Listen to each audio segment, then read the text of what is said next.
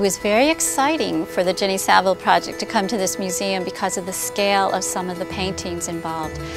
They were oversized, so we actually couldn't go through our traditional freight dock. We had to go through the front doors of the museum. Once the crate is opened, it's your obligation to make sure the painting is in the condition it was when it left the collector or the owner's home.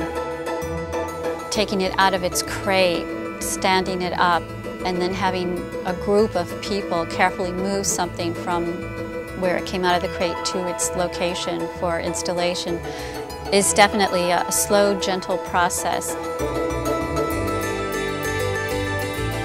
I do have a floor plan of what the installation design will be based on examples that make sense next to each other.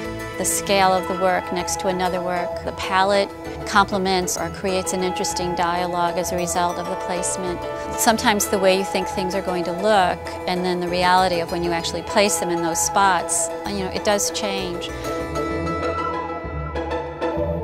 When you see great work, when you see great art, people respond to that with a complete appreciation and respect for an artist who can paint this well.